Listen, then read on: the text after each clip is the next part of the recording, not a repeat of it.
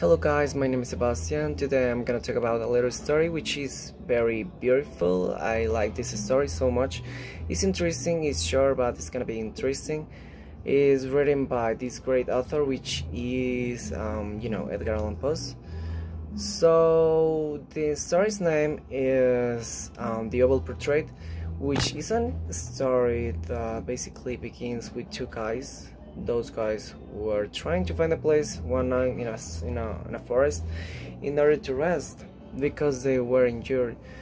So the thing is that they found the place was a castle so the castle was interesting because they thought that they were supposed to find people over there but when they got in there was no anybody over there. The only thing that they checked over there was that there were so many pictures regarding to interesting things uh, it was interesting for them but the thing is that they just wanted to rest because they were injured. And they tried to find a place they found a bedroom so they realized that there were a lot of pictures regarding to you know several things. In fact they saw over there there was a picture regarding to a woman. And the thing is that um, they were a little bit one or they were wondering about this picture so they realized that they, when they wanted to rest um, under the pillow, there was a book. So in the book there were stories regarding to every single picture, and they read that. So one guy started to read the story regarding to a picture that he was looking from him.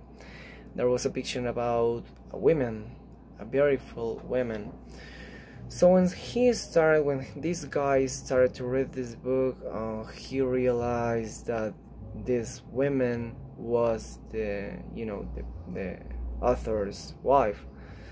And in fact this author was the painter too.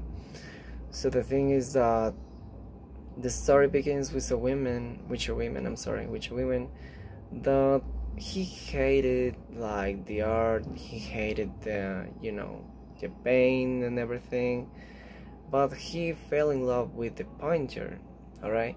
And the thing is that this guy this painter once wanted to place her in a picture. So basically the painter requests her to place her in a picture because she loves so much and also she loved him too alright?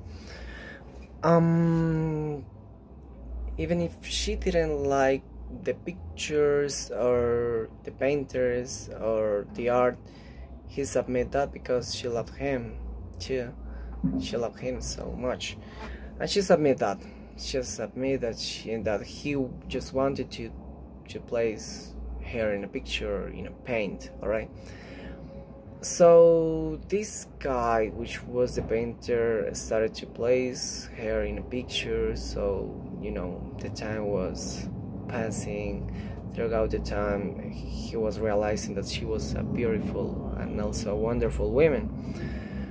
But he didn't realize that every single time that he wanted to place her in that picture a part of her life was placed into that picture alright um, he just felt a little bit tired regarding to that but she didn't let him know that because she loved him so much Alright, um, so there was a time when the painter finished this picture, but he never realized what happened by the time that he was drawing the picture.